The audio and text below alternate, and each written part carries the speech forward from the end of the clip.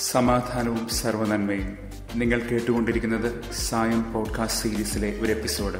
ഞാൻ കപ്പുച്ചൻ സന്യാസ വൈദികനായ ജയന്ത് മേരി ചെറിയാൻ. യുക്രൈനിനെതിരായുള്ള നീതീകരിക്കാനാവാത്ത ആ യുദ്ധത്തിൽ ഏറ്റവും അധികം സംഘർഷങ്ങൾ അനുഭവിക്കാൻ പോകുന്നത് ഒരുപക്ഷെ റഷ്യൻ സൈനികരായിരിക്കും. മറ്റാരുടെയോ യുദ്ധക്കുതിക്കു വേണ്ടി അവർ ചാവേറുകളാകുകയാണ്.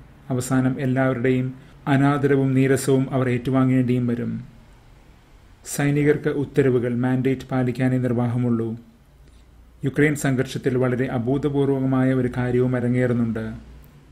യുദ്ധത്തിൽ കൊല്ലപ്പെടുന്നതോ തടവുകാരാക്കപ്പെടുന്നതോ ആയ റഷ്യൻ ഭടന്മാരെക്കുറിച്ച് ലഭ്യമായ വിശദ വിവരങ്ങളും തിരിച്ചറിയൽ രേഖകളും ചേർത്ത് യുക്രൈൻ ആഭ്യന്തര മന്ത്രാലയം ഒരു വെബ്സൈറ്റും ടെലിഗ്രാം ഗ്രൂപ്പും തയ്യാറാക്കിയിട്ടുണ്ട്. R F two hundred dot com എന്ന പേരിൽ. തങ്ങളുടെ ഭാഗത്ത് ആൾനാശമുണ്ടെന്ന് സമ്മതിക്കാൻ വിമുഖതയുള്ള റഷ്യ തങ്ങളുടെ ഭടന്മാരുടെ മൃതദേഹങ്ങൾ ഏറ്റുവാങ്ങാൻ പോലും തയ്യാറല്ലത്രേ. ആ സാഹചര്യത്തിൽ റഷ്യയിലുള്ള ഇവരുടെ കുടുംബാംഗങ്ങൾക്ക് തങ്ങളുടെ പ്രിയപ്പെട്ട മക്കളെക്കുറിച്ച് അവരുടെ അവസ്ഥയെക്കുറിച്ച് അറിയാൻ വേണ്ടിയും യുക്രൈൻ ഗവൺമെന്റുമായി ബന്ധപ്പെടാൻ വേണ്ടിയുമുള്ള ഒരു സംവിധാനമാണിത്. റഷ്യൻ സൈനിക സംജ്ഞയിൽ ഉപയോഗിക്കുന്ന ഗ്രൂസ് ഡ്വസ്റ്റി കാർഗോ ടു ഹൺഡ്രഡ് എന്നൊരു കോഡുവാക്കിൽ നിന്നാണ് ഈ വെബ്സൈറ്റിന്റെ പേരിന്റെ ഉത്ഭവം. തകരപ്പെട്ടികളിലാക്കി വരുന്ന സൈനിക മൃതദേഹങ്ങളുടെ സൂചനയാണത്. ഇങ്ങനെ പെട്ടിയിലടക്കപ്പെട്ട മൃതദേഹങ്ങൾ ഏകദേശം ഇരുന്നൂറ് കിലോഗ്രാം വരും എന്നൊരു കണക്കിൽ നിന്നാണത്. യുദ്ധത്തിന്റെ അനിവാര്യമായ മാനുഷിക നഷ്ടങ്ങളുടെ ഒരു ചുരുക്കെഴുത്ത്. വളരെ ധീരവും സത്യനിഷ്ഠവുമായ ഒരു സംവിധാനത്തെയാണ് ഈ പ്രവൃത്തി വഴി യുക്രൈൻ സാധ്യമാക്കിയിരിക്കുന്നതെന്ന് വേണം കരുതാൻ. റഷ്യ പോലും തങ്ങളുടെ സൈനികരെ മറക്കുമ്പോൾ യുക്രൈൻ തങ്ങളുടെ ഈ ശത്രു സൈനികരോട് ഭൂതദയയോടെ പെരുമാറുകയാണ്. യുദ്ധങ്ങൾ അവരുടെ ഹൃദയത്തിലേക്ക് പടർന്നു കയറാൻ അവർ അനുവദിക്കുന്നില്ല.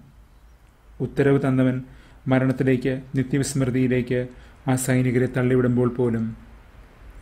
നാദനും ഒരു ഉത്തരവ് നമുക്ക് നൽകിയിട്ടുണ്ട്. ലൂക്ക ഇരുപത്തിരണ്ട് പത്തൊമ്പത്. ഒരേ സമയം അതൊരു ദാനവുമാണ് ഗിഫ്റ്റ് ആൻഡ് പ്രീസെപ്റ്റ്.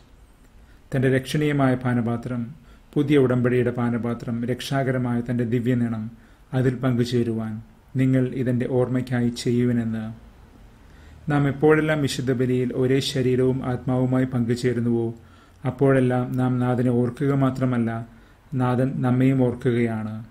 ഇന്ന് സങ്കീർത്തനം നൂറ്റി പതിനൊന്ന് അതാണ് ആഘോഷിക്കുന്നത്. നമ്മെ ഓർക്കാൻ എന്തെങ്കിലും പ്രത്യേക കാരണങ്ങൾ ദൈവത്തിന് വേണമെന്നുണ്ടായിട്ടല്ല. അവൻ നമ്മെ സദാ സ്നേഹത്തോടെ വീക്ഷിക്കുന്നത് നമ്മുടെ കണ്ണുകൾ കണ്ടെത്താൻ വേണ്ടിയാണത്. ഇന്ന് സുവിശേഷത്തിൽ തന്റെ അടുത്ത് വരുന്ന ധനികനായ ആ യുവാവിനെ നാഥൻ സ്നേഹത്തോടെ നോക്കിയെന്നാണ് പറയപ്പെടുന്നത്.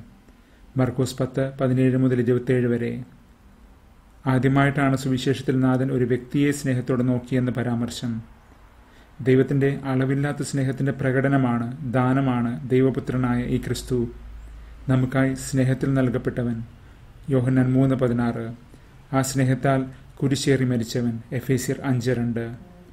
അതുകൊണ്ട് തന്നെയാണ് ഇന്ന് സങ്കീർത്തനം നൂറ്റി പതിനൊന്ന് പറയുന്നത്. നാഥൻ ഒരിക്കലും തന്റെ ഉടമ്പടി മറക്കില്ല എന്ന് നമ്മെ സദാ അനുസ്മരിക്കുമെന്നും നമുക്ക് സ്നേഹത്തിന്റെയും ദൈവാനുകരണത്തിന്റെയും ഈ കൽപ്പന തന്നവൻ തന്നെയാണ് സ്നേഹത്തിൽ സദാ നമ്മെ വീക്ഷിച്ചുകൊണ്ടിരിക്കുന്നത്. അങ്ങനെ നോക്കി നോക്കി നമ്മോടൊപ്പം നടന്ന് അവൻ എല്ലാം നമുക്കായി സജ്ജമാക്കിക്കൊണ്ടിരിക്കുകയും ചെയ്യുന്നു. അവൻ നമ്മെ ഒരു കാലത്തും മറക്കുന്നില്ല. മരിച്ച് തകരപ്പെട്ടിയിലടങ്ങിയ മൃതദേഹങ്ങളുടെ ഒരു ഭാരക്കെട്ടല്ല മനുഷ്യൻ ദൈവസന്നിധിയിൽ കാർഗോ ടു ഹൺഡ്രഡ് ഇന്നലെ നാം കണ്ടതുപോലെ നാഥൻ മരണത്തിന്റെ വിഷപ്പല്ല് തകർത്ത് കബറിടത്തിന്റെ ആക്രോശങ്ങൾ ഇല്ലാതാക്കുകയാണ് തന്റെ ഉത്ഥാനത്തിലൂടെ. ഫ്രത്തല്ലി തൂത്തി എന്ന തന്റെ തിരുവഴുത്ത് ഉദ്ധരിച്ചുകൊണ്ട് പാപ്പ ഇന്നലെ നമ്മോട് പറഞ്ഞു യുദ്ധമെന്നത് തിന്മയുടെ വിഷപ്പല്ലേറ്റ് നാം തകർന്നു വീഴുന്നത് പോലെയാണെന്ന്. എന്നാൽ സുവിശേഷത്തിലെ ആ യുവാവിന് നിർഭാഗ്യവശാൽ നാഥന്റെ ആ സ്നേഹക്കണ്ണുകൾ കാണാനാകുന്നില്ല. ആ സ്നേഹം അവൻ ശ്രദ്ധിക്കുന്നുമില്ല. സ്വയം പര്യാപ്തതയുടെ വികല സങ്കല്പങ്ങളിൽ അവൻ മുഴുകിപ്പോകുന്നു. ആവശ്യം ആവശ്യം വേണ്ട ആ ഒരൊറ്റ കാര്യം പുൽകാൻ അതുകൊണ്ട് അവന് കഴിയാതെയും പോകുന്നു. ഇന്ന് ഒന്ന് പത്രോസ് ഒന്ന് മൂന്ന് മുതൽ ഒമ്പത് വരെ ചിതറിപ്പോയ സഭാമക്കൾക്ക് വേണ്ടി ശ്രീഹ എഴുതുകയാണ്. ചിതറിപ്പാർക്കുന്ന താൽക്കാലിക വാസക്കാർക്ക് വേണ്ടി സ്വജാണ്. ഈ ഭൂമി നമ്മുടെ താൽക്കാലിക വാസമാണ്. അതിനാൽ തന്നെ ഇവിടെ അരങ്ങേറുന്ന വേദനകൾ അൽപായുസുകളുമാണ് ആ സഹനങ്ങൾ നമ്മെ തകർത്തെറിയേണ്ടതില്ല. മതമർദ്ദനങ്ങളിൽ അകപ്പെട്ട സഭയെ തന്റെ പ്രത്യേകമായ അപ്പോസ്തലിക ശുശ്രൂഷയാൽ പത്രോശ്രീഹ സമാശ്വസിപ്പിക്കുകയും ദൃഢപ്പെടുത്തുകയും ചെയ്യുന്നതിന്റെ ഒരു മുഴക്കമാണിവിടെ. ദൈവകാരുണ്യവും സമാധാനവും നിറഞ്ഞു കവിയട്ടെ എന്നാണ് ശ്രീഹായുടെ ആശീർവാദം. ഒന്ന് രണ്ട്. നമ്മുടെ ഹൃദയത്തിലേക്ക് മടിത്തട്ടിലേക്ക് ദൈവം നിറഞ്ഞു കവിഞ്ഞ് ചൊരിയിക്കുന്ന ആ വരമാരി പോലെ തന്നെ നാം ഇന്നലെ കണ്ടതല്ലേ? ഇന്ന് സങ്കീർത്തനം നൂറ്റി പതിനൊന്ന് ദൈവത്തിന്റെ കാരുണ്യവും ദയയും അക്ഷയമാണെന്ന് പഠിപ്പിക്കുന്നത് പോലെ ഇന്ന് പത്രോ ശ്രീഹായും പറയുകയാണ്. ദൈവത്തിന്റെ സമൃദ്ധമായ ബഹുമുഖങ്ങളായ കരുണയെക്കുറിച്ച് പോളിയലേയോസ്. ഈ മഹാകാരുണ്യം നമുക്ക് പുതുജന്മം നൽകി പ്രത്യാശയിൽ വഴി നടത്തി മരണത്തിൽ നിന്ന് പുനരുദ്ധാനത്തിലേക്ക് നമ്മെ ഉയർത്തുകയാണ്. ഇന്നലെ നാം കണ്ട മരണത്തിന്റെ പരാജയമായ നാഥന്റെ ഉത്ഥാനം പോലെ തന്നെ ഒന്ന് കുറേന്ത്യർ പതിനഞ്ച്. സഹനങ്ങളിൽ ദൃഢതയോടെ നിൽക്കുവിൻ കാരണം ദൈവം മഹാകാരുണ്യവാനാണ്. പോലീസ് പ്ലാങ്നോസ് എന്ന് കഴിഞ്ഞ ദിവസം യാക്കോബ് ശ്രീഹ നമ്മെ പഠിപ്പിച്ചിരുന്നു. യാക്കോബ് അഞ്ച് പതിനൊന്ന്.